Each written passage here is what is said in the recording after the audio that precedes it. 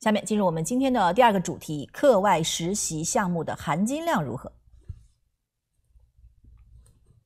说到这个课外活动哈，万博士，我真的是要来好好听你讲一讲。就是课外活动实在是太多了，对于很多的高中生来说，包括每一个学校的俱乐部哈，都是像这个 Acadia High 那边，我对对都有上百个哈，就是反正就是很多的俱乐部，所以这些都算是他们课外的一个活动的项目哈。但是其实对于大学的这个申请来说，有一些项目是有含金量的，有一些呢可能是相对来说少一点。所以在选择上哈，你会给大给出大家怎么样的一个建议？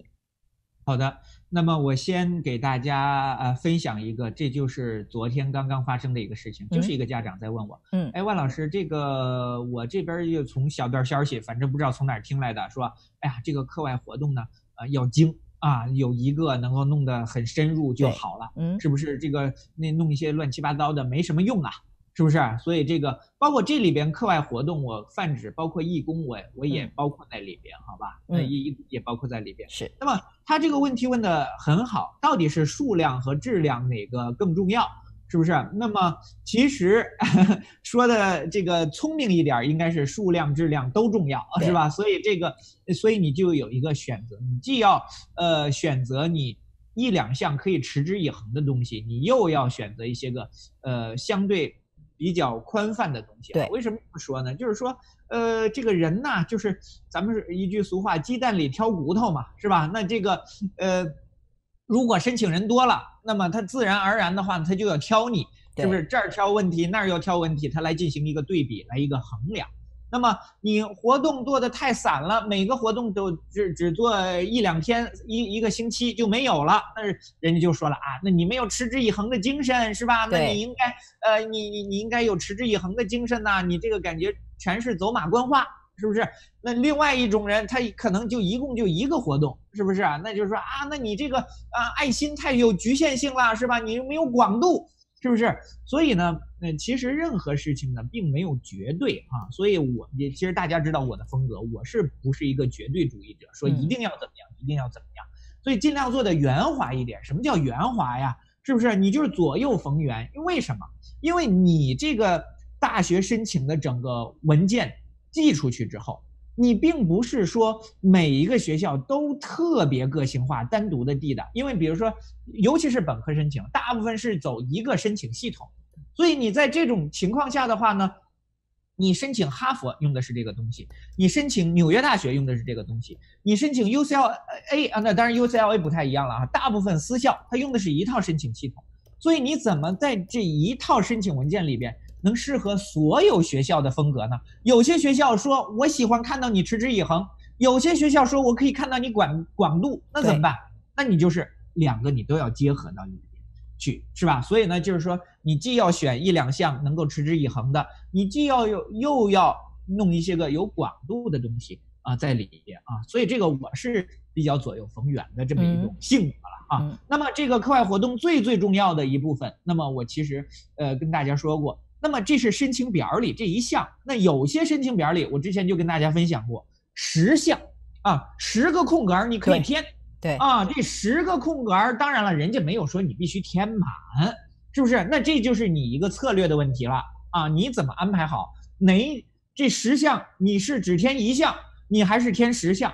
你填一项，那你是做了十年还是就做了一天？你填了十项，是每项只做了一个星期？还是其中有两三项你是做了两三年，是不是？那这个是给每个人不一样的观感。当然了，没人说，并不是说你填一项，或者说你一项都不填，这申请就不让你提交，必须得填十项，或者必须得填一一项。没有，你不填，人家也让你提交交申请费，那你那儿就空着呗，是不是？是。所以呢，就是说这个其实这个申请啊，表面上有些家长说啊，这个申请表呢，它就是一个表格嘛，我就让你给我弄弄文书就行了。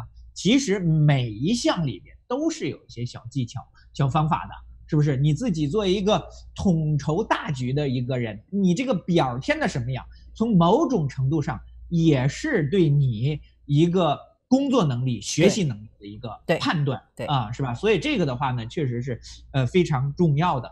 那么这一块的话呢，为什么学校要看你的义工领导力、实习，包括刚才说的呃这些个呃。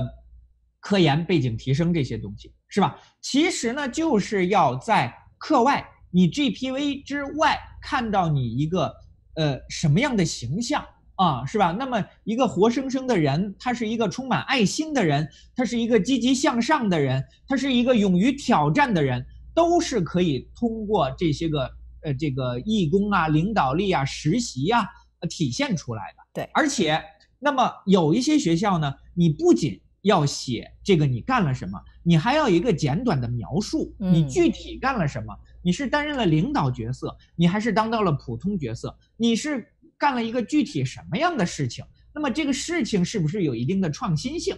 是不是？所以这些个呢，都是需要你好好琢磨来来弄的，是吧？所以呢，总而言之吧，啊，就是说在这个呃这个这个填表过程中，或者说是你在设计自己要做什么样的呃课外实习义工的过程中，你一定要自己知道你的目的是什么。当然了，我说的目的呢，是指大学申请怎么完成这个申请表。我之前跟家长聊过，是吧？我的目的目的很直接，我让你做一切的事情都是以怎么完成大学申请表，对让你这个大学申请更漂亮为目的。对当然了，从大学的维度，那它更重要的一点是，真的是想让你有培养你服务社会、有爱心的这种精神，是吧？是我不否认。那当然了，我是搞这行的，我就做的极端一点。你既能够把大学申请做了，你也能够体现出自己的爱心，为这个你周围的社区做出自己的贡献，那是一箭双雕，对那是好事儿，对，好吧？嗯。哎，所以就是说，课外活动这个，其实之前万博士也跟我们分享了很多哈，但是我觉得这个确实是一个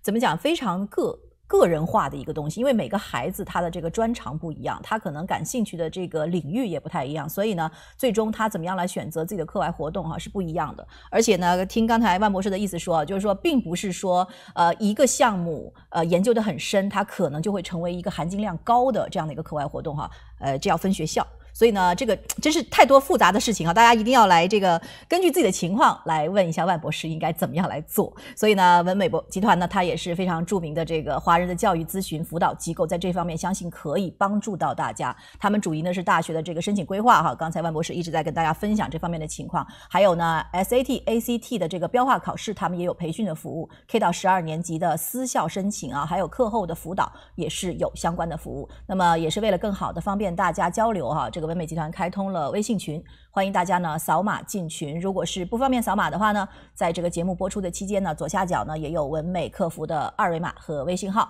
微信号非常好记，就是文美集团的全拼音，欢迎大家直接加客服的微信来咨询。今天谢谢万博士的分享，辛苦您。